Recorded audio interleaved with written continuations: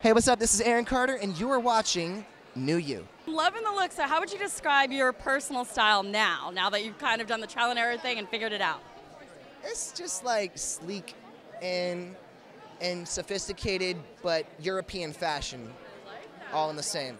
Yeah. Nice. Now we focus a lot on health at New You. Do you have a piece of health advice that you would give your younger fans, your younger self?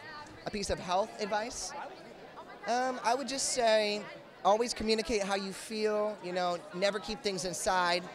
And uh, that's the best way to deal with stress that I've learned. Definitely. So that's how you deal with stress is just kind of. I just, I just kind of just, you know, I, I say how I feel, you know, and, you know, as I get older, I learn I got to be a little bit more like, you know, yeah, yeah, exactly. So I'm, I'm still learning that, but yeah. What about like diet and exercise? Do you have a program that you follow, or does it kind of just vary depending on how you? It's really just the tour life and being on tour and, and, and traveling all over the world all the time. It just, you know, it keeps me in shape. So I'm always sweating on stage, like, you know, so trying to replenish myself with food and drinking Ensures like my mom gave me when I was 12 on tour.